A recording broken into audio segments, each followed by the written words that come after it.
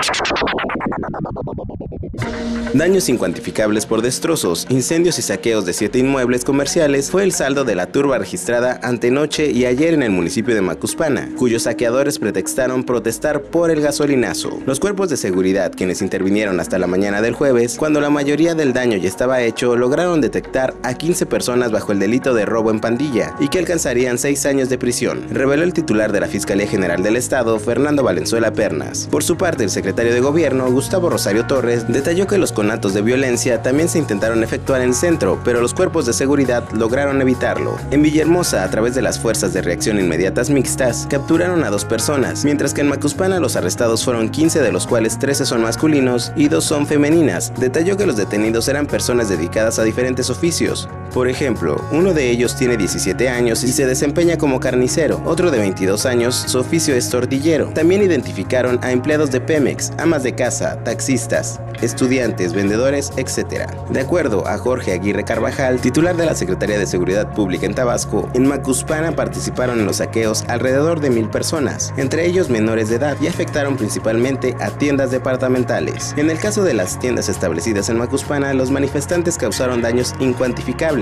Por ejemplo, a la empresa Chedraui le incendiaron la zona de juguetería, saquearon dos oxos llevándose bebidas embriagantes, alimentos y otros artículos. Super Sánchez fue otra tienda afectada, robaron mercancías de primera necesidad. Lo mismo sucedió en Superche, Bodega Ruera y Del Sol, mientras que en FAMSA sustrajeron siete motocicletas, línea blanca al igual que en Electra. En la lucha por contrarrestar la trifulca, expuso que lograron arrestar a 15 personas en flagrancia, aseguraron dos autos que llevaban electrodomésticos y una motocicleta. Por ello, las instancias pertinentes solicitaron que la pena no sea menor a los seis años de cárcel. Los operativos hasta ahora se conforman por la Fiscalía General del Estado, la Secretaría de Seguridad Pública, la Procuraduría General de la República, la Secretaría de Defensa Nacional, la Gendarmería, la Policía Federal y elementos municipales. Para Radio Fórmula Tabasco, Eduardo Niso.